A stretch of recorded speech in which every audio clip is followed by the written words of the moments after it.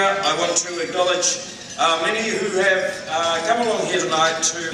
It really has been my pleasure to speak with you this evening. And 100 I have. 300 I have at the very back. Of silk. $300. 350 下面我们再来看其他方面的资讯，来看有关新西兰乳制品双氢胺含量检测的资讯。 年初以来呢，全球最大的乳制品出口国新西兰的奶粉被检出含双氢胺残留的消息，引起了全社会的广泛关注。事实上呢，全球范围内大多数国家和地区并未制定奶粉中的双氢胺含量卫生标准。尽管这次呢，个别批次出口奶粉检出的双氢胺含量达不到欧盟标准的百分之一，而且到目前为止呢，恒天然公司也只是在二零一二年九月的一个批次原料粉中检出了双氢胺。此前以及以后的产品都没有发现。新西兰初级产业部于上周发布了这次检测的结果，对大约全国主要奶制品生产商的两千份乳制品样本进行了检测后发现，二零一二年十一月以后从新西兰牧场采集的牛奶当中不含任何双氰胺。新西兰初级产业部部长 Vanny McNee 就再次强调，新西兰奶粉检出的双氰胺残留含量绝对没有任何食品安全的风险。接着我们再来看来自新西兰通信和信息技术部的一则资讯。新西兰通信和技术部长 Amy Adams 证实，由于有线电视已经向数字化过渡，传统的模拟电视传输信号已经从2012年11月份开始在新西兰全国呢逐步的关闭，因此一些无线电占用频道将被腾出。政府计划在今年第三季度向通讯市场推出这些空置的 700M 赫兹无线电的频段。这些频段呢，将为本国发展第四代 4G 移动通信网络提供了百年一遇的机遇，使移动宽带的传输的速度呢，将比目前高出十倍。4G 呢是第四代，也是最先进的一代蜂窝网络数据访问技术。4G 呢主要适用于那些经常需要在 WiFi 网络覆盖范围之外的浏览网页、使用应用程序和电子邮件的智能手机、平板电脑和笔记本电脑用户。新西兰政府呢已经同意通过拍卖的形式向市场分配这些频道，并统一按照亚太电信组织的频谱规划进行管理，以适应国际通讯环境。具体分配的计划和价格呢将由专家研究或公布。政府呢同时表示，这次频道分配不会对毛利族特别照顾，但将成立特别基金推广毛利文化。接着来看天气方面的资讯。最近呢，可能很多朋友已经发觉了。最近的早晨是越来越黑，傍晚天黑的也是越来越早。没错呢，从下周开始，新西兰的夏令时也即将结束。气象预报局称呢，现在全国范围内都可以感受到日出较迟和日落较早的现象，显示呢，全国的夏天呢即将过去。下面我们再来看新西兰统计局有关婴幼儿死亡率的一个最新的一个统计数字。新西兰统计局公布，2012年本国的婴儿死亡的数量和死亡率创最低纪录。去年全国一岁以下的婴儿死亡人数为256名，婴儿死亡率为千分之四点二。婴幼儿死亡率下降的原因是由于毛利族的婴儿死亡发生率有明显的减少。尽管统计显示出这方面的短期数据有良好的迹象，但长期改善比较缓慢。接着我们再来看有关对新西兰儿童的一个调查的一个数据的分析。根据最近由一个洗衣粉品牌进行的调查显示，新西兰少年儿童比其他邻近国家的孩子更活跃。调查发现呢，澳大利亚的小孩每天参与户外体育活动的时间少于半小时，而新西兰仅有百分之五的小孩有这种现象。五分之四的新西兰的小孩每天的。各种户外活动时间一般会超过一个小时，而花费在玩电子娱乐设备项目的时间呢相对较少。百分之八十的孩子每天在对电脑屏幕的时间呢是不超过两个小时，相比美国儿童平均每天面对电脑的时间超过七个小时要少得多。这是因为多数新西兰家长会限制小孩使用电脑的时间。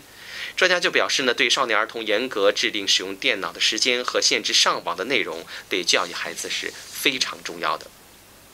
接着呢，来关心一组国际方面的资讯。美国海关最近公布了2012年进入美国假冒商品查获的报告。这份报告就显示，本年呢仍有巨额的仿冒盗版商品试图通过多种方式进入美国市场。虽然总的查获的次数比去年有所下降。但假货的总价值却上涨了一亿多美元，达到了十二亿六千万美元左右。美国海关忙得如此焦头烂额，主要对手是中国。二零一二年，仅来自中国大陆的假货、盗版货市值呢就达到了九亿多美元，占美国查获总量的百分之七十二。而这些商品呢是分一万多次被查获的，也就是说，不到一个小时就有一批中国假货被查获。而且呢，据美国海关报告，假货第二大来源地呢为中国香港，两地相加后发现，美国海关百分之八十四的工作成绩都来自中国。自中国以外，所有的假货生产国或地区，甚至都没有能够超过百分之一的比例，称中国假货单挑美国海关并不夸张。接着，我们再来看有关陨石猎人的资讯。本月十五号呢，俄罗斯陨石坠落事件引发了世界的关注，陨石碎片呢成为网上热卖的商品之一，就连陨石坠落地点也有望成为热门的旅游地。陨石坠落的时候还发生惊心动魄的一幕，它与一架客机是擦肩而过。就在全世界都在讨论针对陨石的安全防疫问题时，一群职业猎人悄悄地来到陨石坠落之地寻宝。一块像样的陨石至少能卖几百美元。其实呢，陨石猎人是早就存在的职业，他们深入大漠雪山搜集、稀释陨石碎片。月亮陨石和火星陨石的价格甚至可以攀升到每克数千美元，远高于黄金和钻石的价格。而一些民间的追星族们拉帮结社，定时发布观测指南。这帮追星星的人也常常结伴而。行，扛起他们的家伙呢，去山顶来一场观星的派对。所以啊，下次再看流星雨的时候，记得呢要看流星的相关的预报。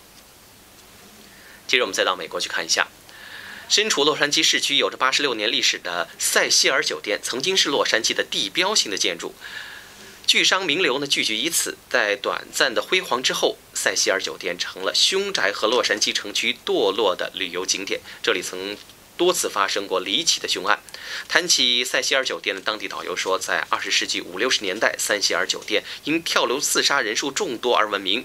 这里呢，曾经住过两个连环杀手。如今呢，塞西尔酒店经过全新装修以后，面貌是焕然一新。这里也成为吸引海外游客的廉价旅馆。然而，随着华裔女生兰可儿离奇失踪、沉尸楼顶水箱案件曝光后，塞西尔酒店再度成了媒体关注的焦点。接着我们去韩国看一下，韩国正在调查一名男子，后者呢涉嫌向位于首都首尔的日本大使馆内投掷装有粪便的塑料瓶。涉事男子现年四十九岁，姓崔，住在韩国东南部城市蔚山，是名临时工。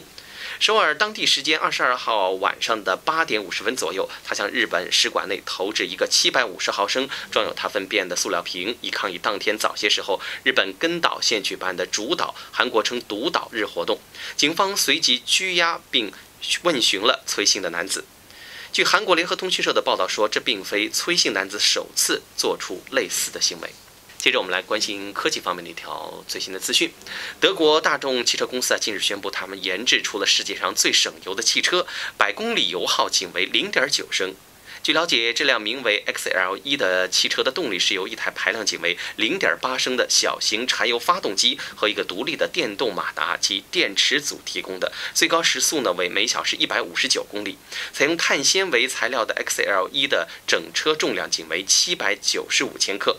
大众公司表示啊，将在今年生产50辆此款碳纤维汽车。不过公司呢并没有透露这款采用混合动力的双座跑车的售价。接着再来看，谷歌去年宣布啊，探索者版谷歌眼镜面向开发者和早期采用者开放。在当时召开的谷歌开发者大会上呢，谷歌眼镜开始接受预售的订单，与会者有机会以一千五百美元的价格进行预定。谷歌公司啊，日前呢还宣布扩大预购计划的范围，富有创造力的个人可通过 Google 或者 Twitter 页面呢，可以提交相关的申请加入。谷歌公司称呢，公司正在寻找富有创造力的个人加入他们，成为构建谷歌眼镜未来的一份子。